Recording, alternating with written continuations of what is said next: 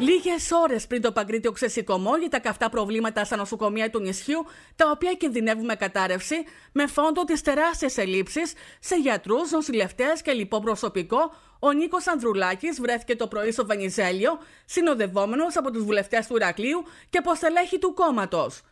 Η κυβέρνηση δεν αξιοποίησε όπως έπρεπε το Ταμείο Ανάκαμψης.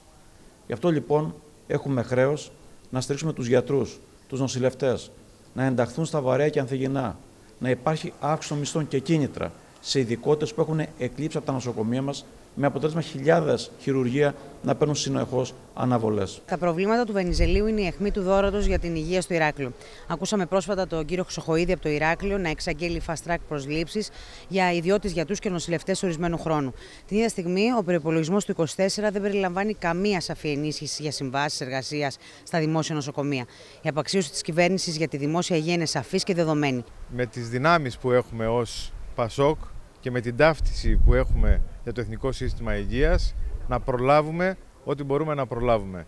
Διότι οι λύσεις οι οποίες προτείνονται από την κυβέρνηση είναι εμβαλωματικές, είναι σημειακές, είναι αποσπασματικές και δεν δίνουν λύσεις στα προβλήματα. Ο Νίκος Ανδρουλάκης ενημερώθηκε για τα προβλήματα από την προσωρινή διοίκηση του νοσοκομείου, τους γιατρούς και τους εργαζομένους, οι οποίοι περιέγραψαν δραματικές καταστάσεις, αφήνοντας παράλληλα εχμέ εναντίον του Υπουργείου Υγείας, το οποίο, όπως σημείωσαν, δίνει προσωρινές λύσεις μέχρι το τέλος του χρόνου. Πιστεύετε ότι από τον του θα έρθουν οι γιατροί και ε, το λοιπό προσωπικό; Όχι, δεν το πιστεύω και ο λόγος που δεν το πιστεύω είναι ότι δεν έχει δοθεί απολύτως κανένα κίνητρο που να αλλάξει τις συνθήκες ε, εργασίας ή αμοιβής. Οι δύο επισκέψεις ε, του κυρίου Χρυσοχοίδη στο Ηράκλειο δεν έδωσαν καμία λύση απολύτως. Απλώς ήταν επικοινωνιακού καθαρά ε, χαρακτήρα. Θέμε να ακούσει και ο κύριος Ανδρουλάκης πραγματικά τα προβλήματα τα οποία υπάρχουν στον χώρο της δημόσιας υγείας. Λύσεις δεν βλέπουμε στον ορίζοντα.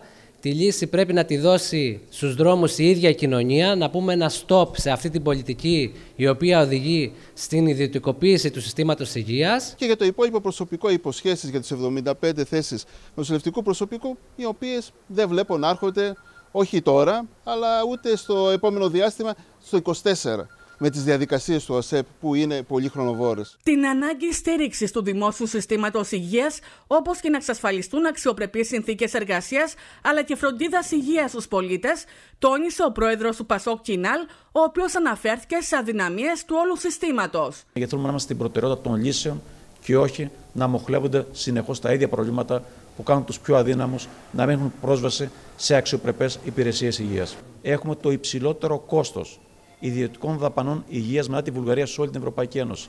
Αυτά είναι τα πραγματικά δεδομένα. Προτεραιότητα του ΠΑΣΟΚ είναι να αναγεννηθεί το Εθνικό Σύστημα Υγείας. Εμείς το φτιάξαμε και έχουμε χρέος την σύγχρονη εποχή να δημιουργήσουμε τις υπηρεσίες αυτές που τόσο έχει ανάγκη μια κοινωνία